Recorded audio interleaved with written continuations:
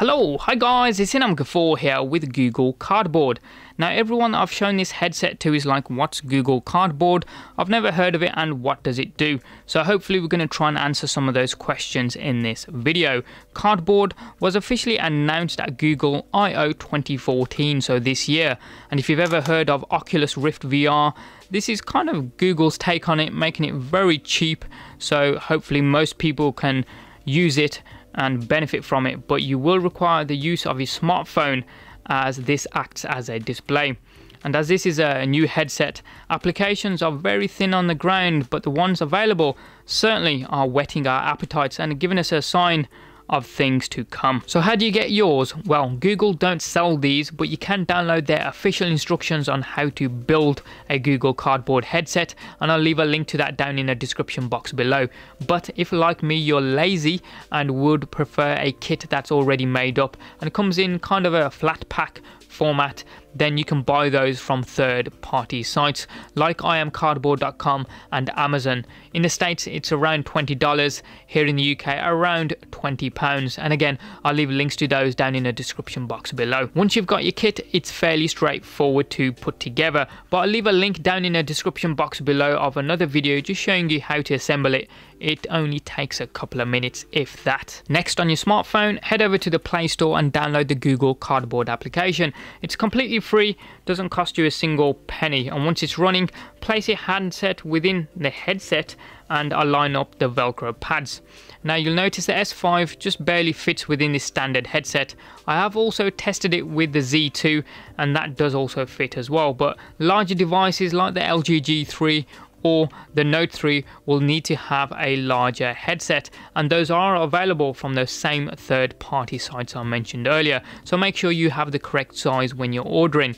And you'll notice that the ends of this headset are also open so there is a small chance this handset could slide out and smash on the floor depending on how vigorously you move. So I would recommend you place your hands either side just to stop that from happening and you'll also notice this rubber band here now, some people saying this is to go around your head, but there's no way anyone's head is going to fit through this small hole. So I think this has been used as friction just to stop the phone from moving around, but I'm not going to risk it. I'm going to place my hands at the sides. A couple of navigation tips for you now. If you want to go into an application or go into a menu, you can use a magnetic O-ring along the left hand side as a selection or a click button.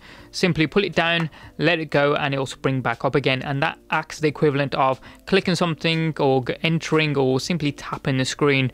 And if you want to go back a step, all you need to do is rotate the headset vertically and that will send you back a step depending on where you came from.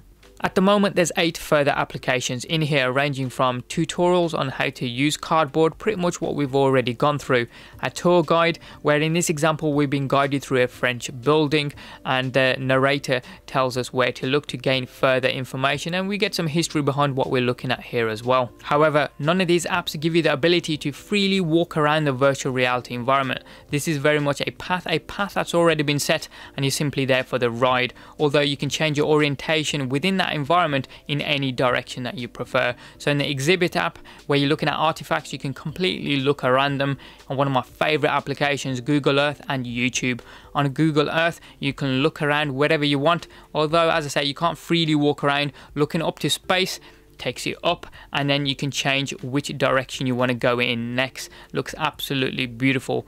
And YouTube it's like you're in a sphere where you have lots and lots of TV screens and a cinema screen being center stage playing whatever you select. So looking around selecting a different video by pressing the o-ring down and then it changes the main one. And you can pause and play a video by again pressing that o-ring down and you've also got voice control so if you want to pick a different video simply look down and say the name of the video or what you're looking for and it will play center stage and all the other videos around you within that sphere will also change according to the results that it finds. Similar to this is Photosphere where it allows you to select your own photospheres taken with your camera, plonks it in the center and you've guessed it allows you to look wherever you want and the final application here is Street View. And it's very cool. And remember as I said this is very much a ride so you cannot go wherever you want although you can look in any direction pausing the ride with pressing the O-ring down it's very detailed and as you can see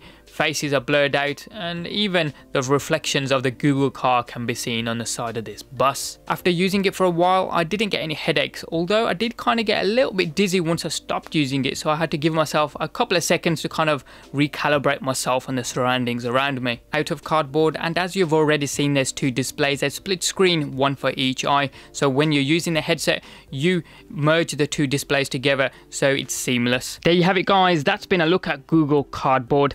As ever, any comments or questions you guys have got, hit them up in the comment section down below there. Give us a thumbs up if you liked this video and you like what you saw and if you found it informative, then please do give us a like. And if you haven't yet done so, hit subscribe. It's just down there. It doesn't cost you a single penny. And you can also check out some of our forthcoming videos. Thanks for watching. Have a wicked day and we'll see you next time.